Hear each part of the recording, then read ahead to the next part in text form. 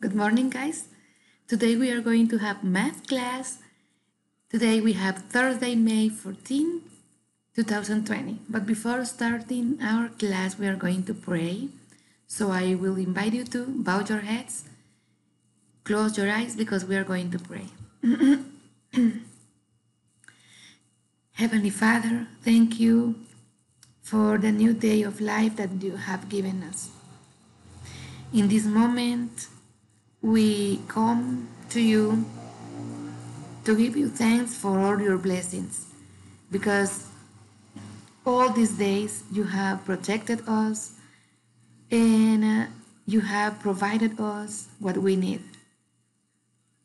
In this special morning, I ask for each of the family of my students. Continue being with them, protecting them, providing them uh, food, medicines, and what they need. Now that we are going to start our class, please, Lord, help us to understand what we are going to learn. Help us to be attentive to comprehend the class of today. In Jesus' name we pray. Amen. Okay, guys. So today we have Thursday, May 14, 2020, and the topic that we are going to see is simplifying fractions. I want you to go to page 143. Page 143. Do you see the picture that you have in there? It's a bus and a boy is a, entering on the bus. A woman is driving the bus, right? And it says that the capacity of the bus is 48. Here I have something similar to that. Let me see. Okay, by here you can see the capacity is 48. Now let's read the problem. Mrs. Phillips has a full bus lot of children this morning. That means that the bus is full. That means that in the bus we have how many children? 48 because the capacity is 48. And if it's full, it's because the bus is with 48 children. Let's continue reading. If 32 boys are riding, are on the bus, what fraction of the children of the bus are boys? So here, guys, we have something.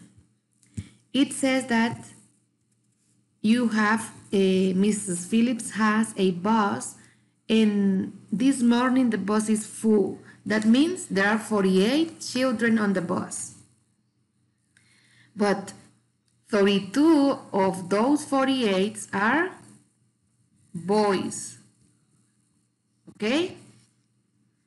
Now, guys, if we want to represent 32 boys in fraction, because it says what fraction of the children on the bus are boys, how do we do that? How do we represent 32 boys in fractions, 32 of, of 48, out of 48? So let's um, answer the information sentences. Let's continue reading. We want to find the fraction of the bus lot is what fraction of the bus is boys.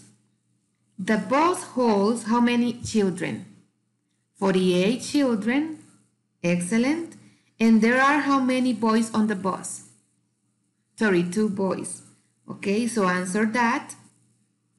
And I want you guys to remember that in a fraction, we have a number here and a number in here. The number that is up, we call it numerator. And the number that is under, we call it denominator. So let's repeat. Numerator, denominator, numerator, denominator. Okay. Now I want you also to remember that in the numerator, we have only one part. And in the denominator, we have the total amount. Okay? So, if the numerator is only one part and the denominator is the total, what number it's going to be in the numerator, 32 or 48? Excellent. In the numerator, we are going to have 32 and in the denominator, we are going to have 48. That means that 32 is only one part, it's not the total of the bus. 32 are boys. And 48 are the total number of children in the bus. Okay? So that means that 32 out of 48 are boys. The rest are girls, obviously. So in that way, we represent the fraction 32 out of 48. Now, guys, I want you to see something. 32 out of 48 or 32 48 this fraction can be simplified. And what does it mean to simplify? To simplify is to express this fraction but in simplest terms. This is one term and this is another term. Okay?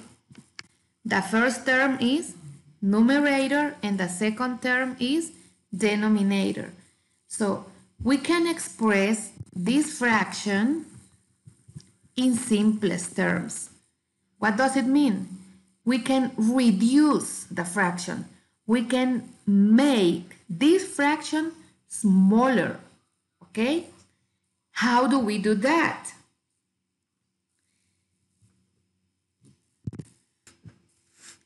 Okay, do you remember uh, the common factors of two numbers? A factor is a number that can divide one another number. For example, here we have 10 and a factor of 10 is 2 because 10 can be divided by 2. 5 also because 5 can uh, 10 can be divided by 5.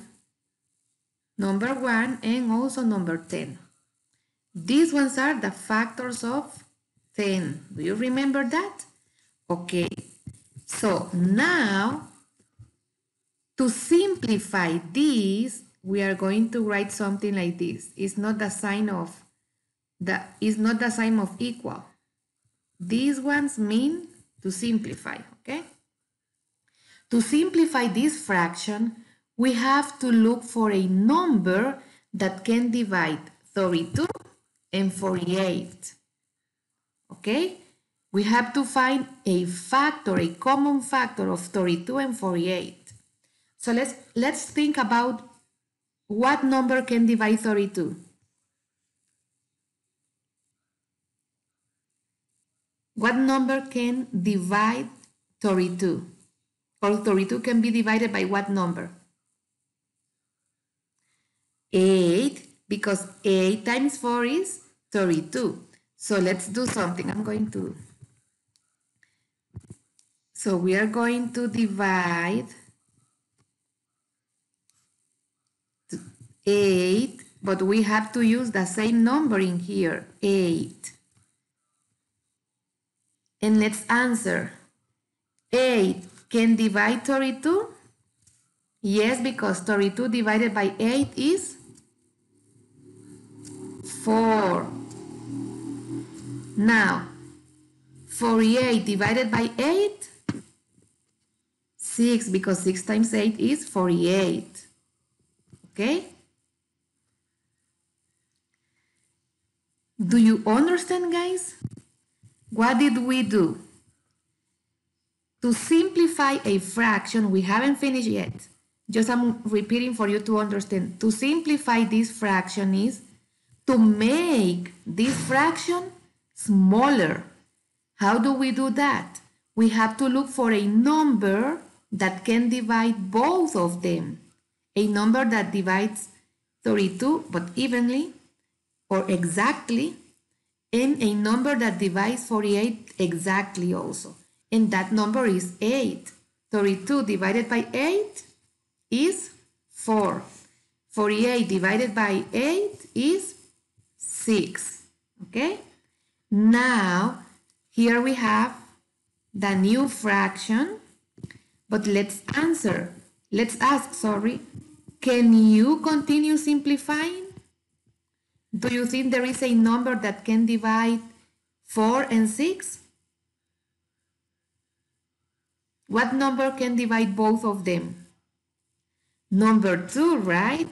These, num these ones can be divided by 2 and by 2 here also. Remember that it has to be the same number in the numerator and the same number in the denominator because it's the same number that has to divide the, no the, this, the fraction.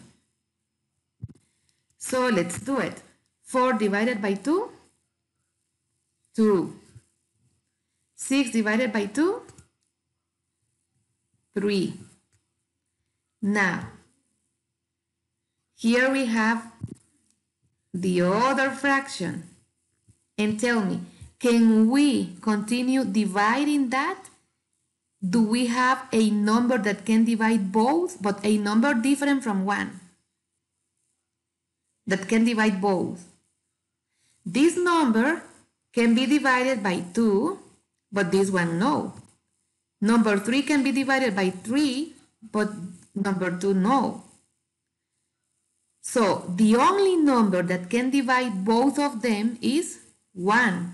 2 divided by 1 is 1, and 3 divided by 1 is 1. So when we find that the only number that divides both of them is 1, that means that we already simplified the fraction and this is the answer. Simplificar significa hacer más pequeña la fracción hasta que lleguemos a un punto como este de aquí, en donde ya no hayan common factors. And the only common factor that you are going to have is number 1. ¿Ok? Aquí el número, el único número que divide al 2 y al, y al 3 es el número 1. Ya no tienen factores comunes. So when we arrive to this point, we say that the fraction is already simplified. Okay? Let's, we are going to, to um, so let's uh, answer the, the sentence. It says, the last sentence of the problem, the fraction of children on the bus that is boys is two-thirds. Two-thirds of the, of the bus is boys or are boys. Okay? So now we are going to solve the exercises in page 143. Okay, number one, let's read the instructions first. Write each fraction in simplest term. Guys, always read the instructions, okay? Simplest term. What does it mean? To make it smaller, okay? To reduce it in simplest terms. So what fraction are you going to simplify? 4 eighths. So you have to find a number that can divide both of them, but a number different from 1. And here we have it. Number 4. Number 4 can divide 4 and number 4 can divide 8. So let's divide it only. 4 divided by 4, 1. And 8 divided by 4, 2 because 2 times 4 is 8. So in here, what fraction do we have? 1 half. So this one is the answer, 1 half. This one is the, sim the simplest terms. Okay, this fraction was simplified and the result was this one. Okay, do you understand? The only thing we did was to look for a number that can divide both of them. And then you divide it, and that's all. So let's do number two. Number two says 6 ninths divided by 3 thirds. Okay, you have to simplify this fraction, 6 ninths. And what is the number that can divide both of them? Number 3. That's why in here we have 3 in the numerator and 3 in the denominator. 6 divided by 3, 2, because 2 times 3 is 6. Okay. 9 divided by 3, 3, because 3 times 3 is 9. So, we have that the simplest term of, of this fraction is 2 thirds. Now, can you continue simplifying this fraction? This one, 2 thirds? No, right? Because we don't have other number different from 1 that can divide 2 and 3. Only number 1. So if we, if we find that only number 1 can divide the numerator and the denominator, that means that we already have the simplest form of the fraction. So this one is already simplified, 2 thirds. Now let's continue with number 3. Okay, number 3 says A12. You have to simplify A12.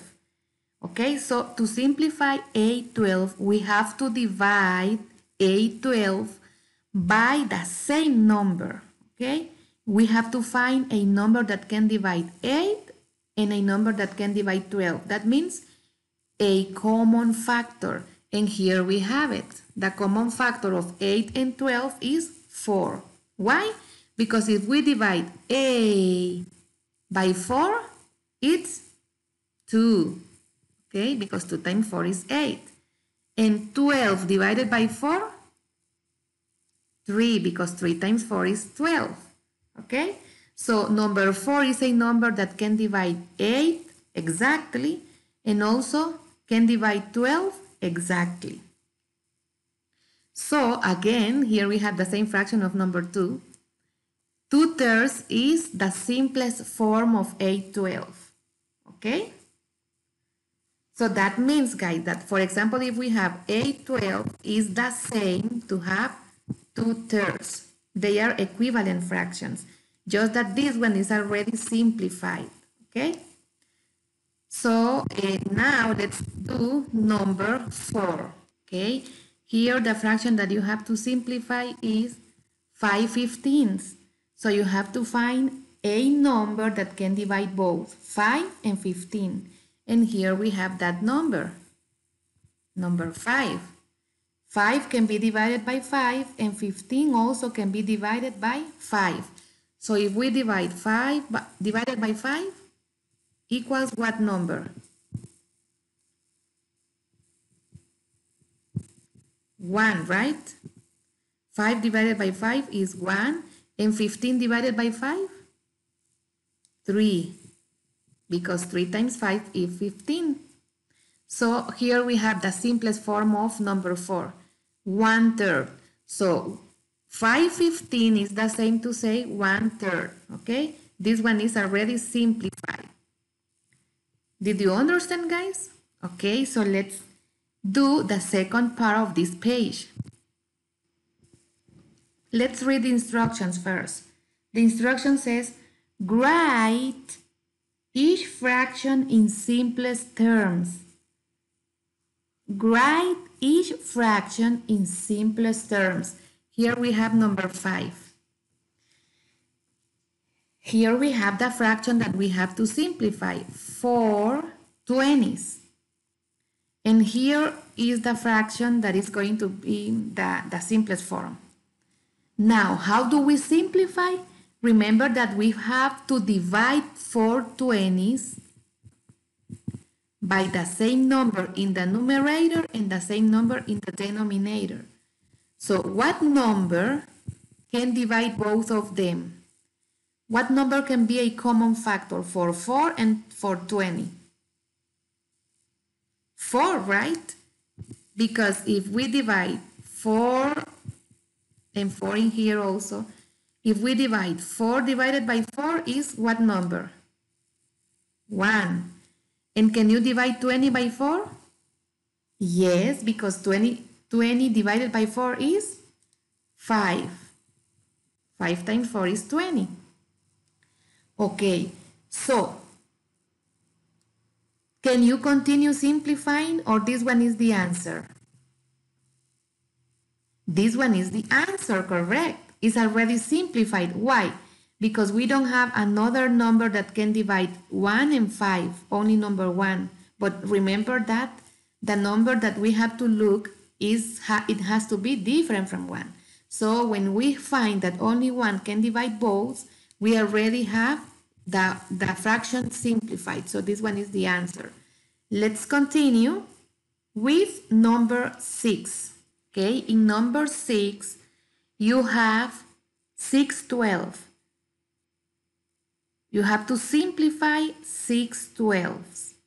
So how do you simplify? Ah, you have to divide 6 12 by the same number in the numerator and the same number in the denominator. What number can we use to divide um, 6 and 12? The same number 6, right? Because if we write 6 in the numerator and 6 in the denominator and we divide 6 by 6, it's going to be what number? 1 and 12 divided by 6 is going to be 2. Okay? 1 half is the answer. But what about if you say, okay, miss, but if I have 6 12, I can divide 6 12 by 3. 3 here and 3 here. Yes, you can do it. Just look what is going to happen. 6 divided by 3? 2, right? Because 2 times 3 is 6. And 12 divided by 3? 4, right? Because 4 times 3, 3 is 12. Now, is this one the answer? Is this one already simplified? No, because we can find a number that can divide both of them, 2 and 4. And we have to continue simplifying. What number can divide 2 and 4? Number 2, right? 2 in here and 2 in here. So you say 2 divided by 2, 1. And 4 divided by 2, 2. So now we have the same answer here than in here. What is the difference? It's better to look for the greatest common factor. Do you remember the greatest common factor of 6 and 12? Okay, so that in that way, you can use the biggest number because if you use, for example, number 3, you can do it, but in here you are going to find that this fraction you have to continue simplifying and simplifying and simplifying. So it's better to use the greatest common factor. Okay, number seven says 10 25ths or 10 25ths. You have to simplify 10 25ths to do it smaller. So we have to find a number that can divide 10 and 25. What number can divide bo both of them? It doesn't have to be 1, okay? A number different from 1 that can divide 10 and 25. Number? Number 5, excellent. 10 can be divided by 5 and 25 can also be divided by 5. So if we divide 10 by 5, 10 divided by 5, 2, because 2 times 5 is 10, excellent. Now 25 divided by 5, 5 because 5 times 5 is 25. Now guys, this is the new fraction in simplest term. Now, can you continue dividing this fraction? Do you have another number different from 1 that can divide 2 and also can divide 5? The same number? No, right? We don't have another number that can divide both of them. 2 can be divided by 2, but 5 cannot be divided by 2.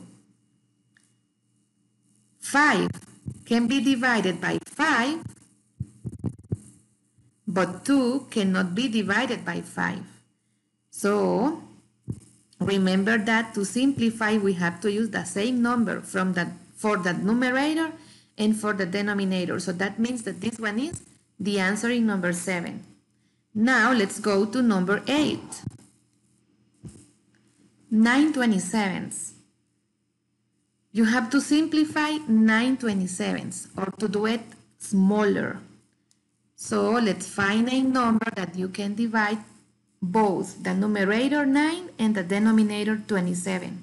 What number can divide 9 and 27? The same number. Mm. Okay, number 9. Okay? We write 9 down, uh, up and 9 down. Why? Because 9 divided by 9 is 1 and 27 divided by 9 is 3 because 3 times 9 is 27. So in here we already have our simplest term. The fraction is already simplified. But what about guys if you said, Miss, but I have 9 27s and I can divide 9 by 3 and also 27 by 3. Is that possible guys? Yes, it's possible. Just that the process is going to be larger. Because if you divide 9 by 3, what is the answer? 9 divided by 3? 3, right? Because 3 times 3 is 9. Okay, now 27 divided by 3? 9, because 9 times 3 is 27. Now, guys, is this one already simplified or you can continue simplifying? Do you think number 3 and number 9 can be divided by the same number? Yes, we can divide number 3 and 9 by 3. Okay? And we say 3 divided by 3, 1. And 9 divided by 3, 3 because 3 times 3 is 9. So, look, we have the same answer. It doesn't matter if you start with a smaller number like number 3 or with the biggest number. Es mejor encontrar cuál es el número mayor que ellos tienen en común, que, que, pueda dividir al numerador y al denominador. Porque si agarramos un número pequeño como el 3, está bien, pero tenemos que seguir simplificando. Nos da esta respuesta aquí, pero 3 y 9 pueden ser también simplificados hasta que lleguemos a un punto como aquí, donde ya esta fracción ya no puede seguir siendo simplificada, porque el único número que divide al numerador y al denominador es el número 1. ¿Ok? So you can do it in a fast way, finding the, the greatest common factor, or you can do it in this way, finding a number, but you have to, any number, uh, but you have to ask if the fraction it can be continuous simplified or not. Okay, guys, now is your turn to work. What is going to be your homework? Here you have it. You have to work in math, page 144, all the page. But remember, guys, that you have to send me pictures of 143 and also 144. This is the points of the class, and this one is points for homework. So don't forget to send me the page that we saw here in the video. Okay, so you have to send me both of them. So this is all for today, guys. Blessings.